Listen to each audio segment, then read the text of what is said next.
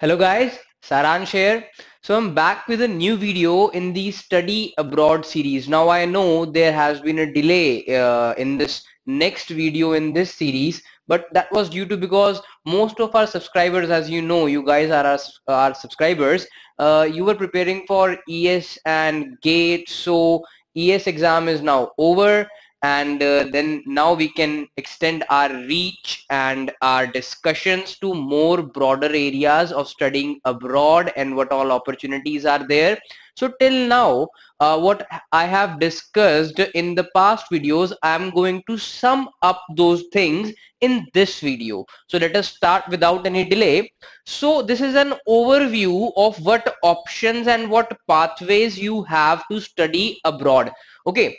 So the first thing is what are the major destinations? We dis already discussed in the very first video. You can go to USA you can go to Singapore you can go to UK you can go to Germany you can go to various places in Europe other than Germany like France and Netherlands so these are all the places and Canada as well you can go uh, so these are all the places you can go to study for your masters and PhD okay now, what are the pathways you can take? So there are two pathways. First is the GRE, which most of people who go abroad for their masters, they go through GRE, which is Graduate Record Exam. Okay, it is conducted by ETS. And the other uh, one is GATE, Graduate Aptitude Test in Engineering, which is in some time in 2020 uh, in February. The exam will be there so these two are the pathways. Either you can give the GRE exam or you can give the GATE exam. Now the difference between these two is that uh, if you give the GATE exam, the the options which you have available with you are limited very limited. But if you give the GRE exam and you go uh, for masters and PhD through the GRE exam then you have tremendous number of options for your masters and PhD now first let us discuss the GATE exam because in the previous videos I have discussed this this option in great detail and uh, i guess there is uh, nothing else uh, you can uh, you would want to know. That is all the information which is there and you can just go through that those videos and go through that information. Just go on the websites of the universities if you want something else you uh, to know about uh, the admission process. So yeah.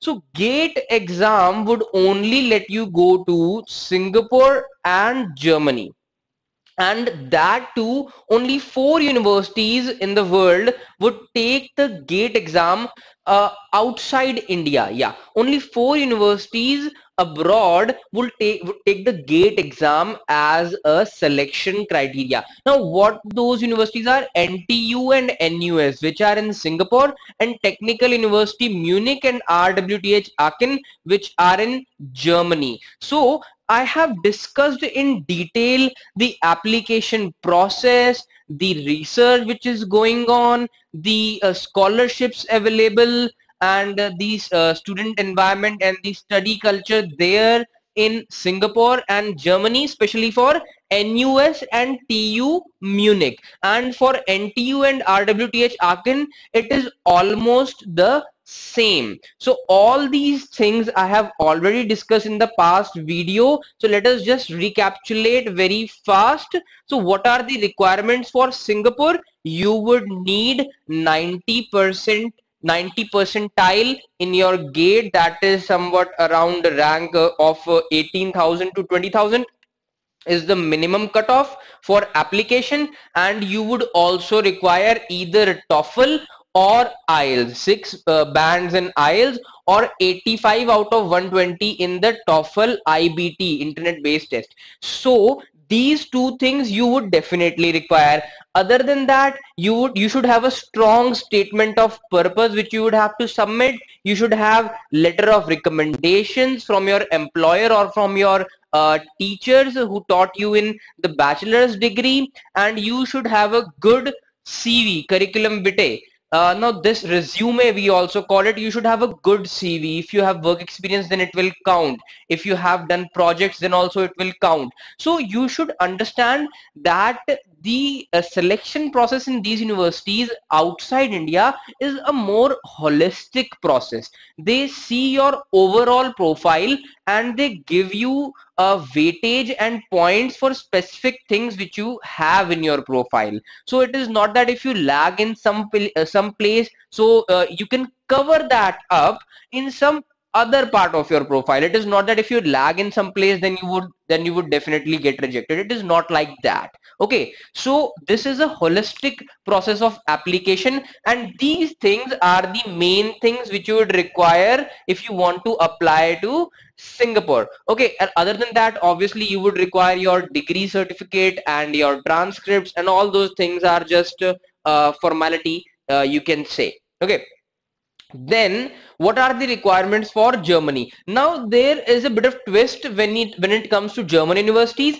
There are two types of programs which are being taught in German universities. Now the masters and the PhD are available as an English taught course in which the classes the lectures and the books and the study material will be in English. And the other one is uh, which is available is the German taught course. Now, what is the difference? So, the requirements which you would have to show uh, to get into a German university is uh, that is TU Munich and RWTH Aachen because those are the two which accept GATE. So, if you want to get into those universities, then in an English taught course, then you would have to uh, show some more requirements. Like you would have to show a minimum 90 percentile in GATE and you have to uh, take TOEFL or IELTS exam. You should also have German language proficiency of B1 or B2. You should have an uh, have a strong SOP. You should have LORs. You you should have a good CV. So all these things are required if you want to get an admission into the English taught program at that German university which is TU Munich and RWTH Aachen. But if you want to go to the German taught course, then you wouldn't need any TOEFL or GATE or GRE. You would just need the German proficiency of C2 level. That's all. And a strong SOP is obviously required, letter of recommendations and curriculum vitae. So these uh, the, the requirements they change if you uh, study in German language. But if you study in English language, that then those requirements are different. So this you should keep in mind while applying to Germany and have already discussed what all research which is going on there and professors who are working in various fields in various departments and the application procedure, the scholarships and funding opportunities and these things I've already discussed in the past videos. All those uh, the links to those videos will be given in the description so please check them out okay?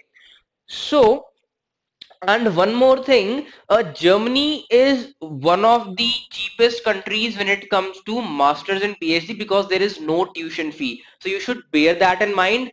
But i must tell you that you wouldn't be able to get an admission if you don't have german proficiency. So that is a twist which you should remember while choosing germany as an option for higher studies. Now let us come to the most used and the most uh, taken up option when it comes to going abroad for higher studies which is the GRE or the graduate record exam.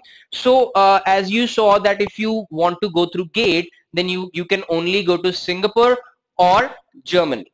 And uh, if you take the GRE and not the gate exam then you can go to USA, you can go to Canada, you can go to Germany, you can go to Singapore, you can go to France and the whole world is open to you if you take this exam. And yes, the universities which take which take the gate score as a criteria they also take the gre score as a criteria so uh, the universities like uh, nus ntu tu munich and rwth aachen they can also give you an admission if you want to apply using the GRE score and not the GATE score. But the universities which only take GRE would not take the GATE score as an admission criteria. Okay, so the whole world is open to you if you go by this option, the GRE exam. now when it comes to the cost effectiveness of this thing then if you go, if you want to go to Singapore suppose uh, for your masters using the gate score then obviously you can go there. But the cost which you would incur in Singapore would be similar to the cost which, which you would incur in USA or Australia or uh, suppose in Canada, the cost in Canada uh, especially would be somewhat low than Singapore and USA. So there is no such difference as to uh, like if you go via GRE then you would have to pay more. No, that is not the scenario. You would have to pay an equal somewhat equal amount or comparable amount whether you go via gate or you go via GRE but the only exception would be Germany. Germany would be the cheapest option by using both the pathways. Whether you go through GATE or through GRE, Germany would be the cheapest option. So there, there will be no difference in cost of education when it comes to these pathways. The cost of education would be same if you take GRE or you take the GATE exam. Okay, so let us see what are the requirements if you give the GRE exam. So you would obviously you would have to give the GRE exam. You would have to score more than 315 or 312 because a score of less than 312 is not considered a good score. So if you want to get a good admit in uh, some very reputed university, then you have to score more than 312 at least because the GRE exam is of 340 marks. I'm going to discuss about this exam now and in the future videos I'll be exploring more all the universities which are there in US, Canada, Europe which accept GRE and I'm going to talk about the GRE and TOEFL exams in detail like I talked about the admission process through GATE. I'm going to do the same thing for GRE. So please uh, watch our next all the future videos if you want to use this option. So let us continue what are the requirements if you want to go with the GRE exam. So uh, the GRE exam is of 340 marks, uh, 170 English, 170 quant and uh, uh, 6 marks is for the essays which you have to write. So a score of 300 Three, uh, more than 312 is considered uh, a good score so you have to try to aim above that score and you would have to give either TOEFL or IELTS now this the, these exams, TOEFL or IELTS, uh, show your English proficiency in communication and uh, uh, you would need to require uh, you would be required to give just one of these uh, depending on the country suppose if you want to Canada or UK then you would have to give IELTS but if you want to go to Germany or USA or Singapore then you would uh, want to give TOEFL.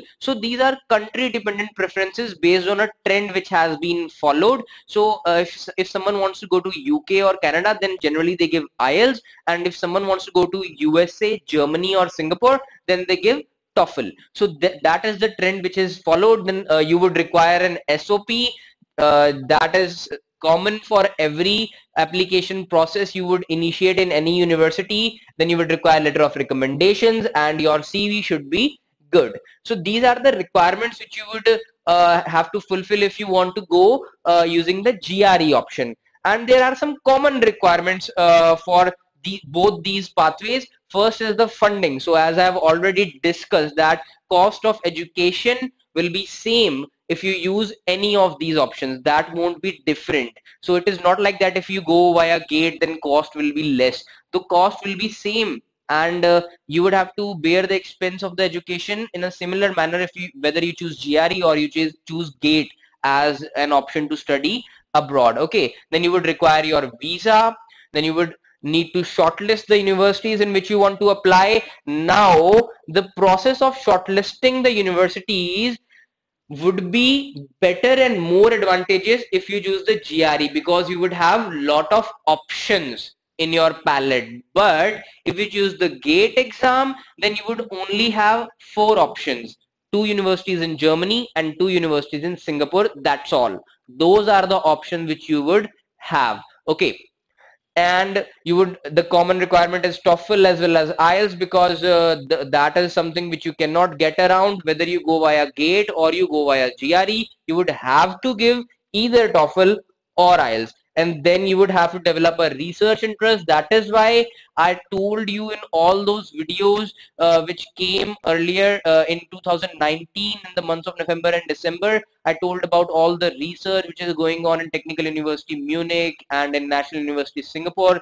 That is because to develop your research interest because that is all which matters when you want to go for an MS or a PhD okay? And SOP LOR and CV are the common requirements. So this was an overview of the pathways which you can take if you want to study abroad for your higher education. So there are two pathways gate and GRE GRE gives you more options on your table more options for location more options for universities and gate would only give you just four options only in two countries. So that is about uh, the overview of going abroad for an ms in future videos i'm going to discuss in detail about the GRE option and the universities which accept GRE and what all research and funding you would require in order to go to those universities and the scholarships uh, which will be available in those universities. So this is all for this video. Thank you for listening. And uh, yeah please if you want to know about uh, going abroad for higher education please watch our future videos. Subscribe to our channel and click the bell icon. Thank you